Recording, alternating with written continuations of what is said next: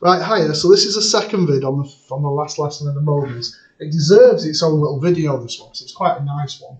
So it says a shop sign is suspended by two pieces of ropes at the corners A and B. The sign is modelled as a uniform rectangular lamina with a mass of five kilos. So what that means is that that mass acts at the centre of the lamina. So if it's one metre tall, it's half a metre high, the centre. If it's 80 centimetres wide, it's 0.4 metres. So here in the middle is where my 5G acts. Right, so just gonna hang on, me wander around the room, get the sensor back on. There we go. Right, so I've got the 5G acting. Um, now it told me, told me, what does it tell me? Uh, it says, where is it, where is it? So rope A snaps, so if you imagine this has gone now, the whole thing wants to swing round that way. So the 5G, the whole that way to the lamina, would want it to swing about here, about this as a pivot. So here's going to be my pivot. There. So the whole thing wants to swing anti-clockwise.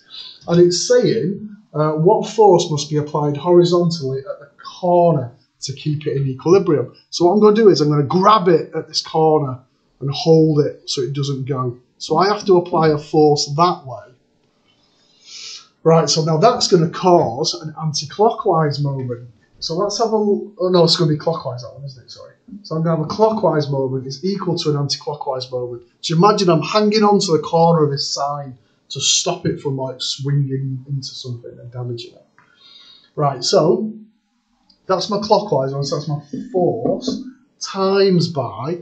So I've got to look at how far away um, the perpendicular distance is.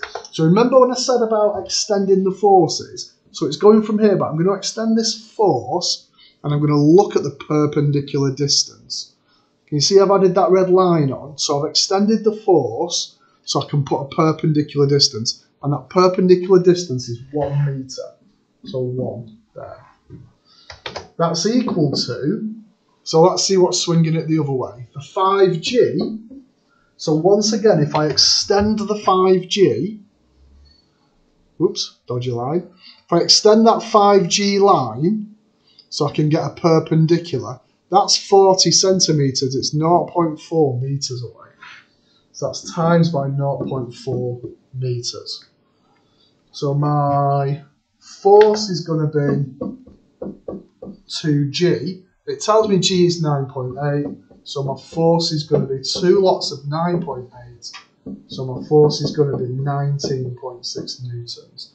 But 2 sig fig, 20 newtons to 2 sig fig. There. Isn't that quite a nice question, that? Because you've got to visualise it swinging, you've got to visualise you grabbing that corner to do it, but then you've got to also think that the, the, the centre of mass for the lamina is at the centre, and I also have to extend both my forces to get the perpendicular distances. So that's a nice one that's doing its own right. I'm going to stop there for this last one, which is based on an exam question. Bye bye.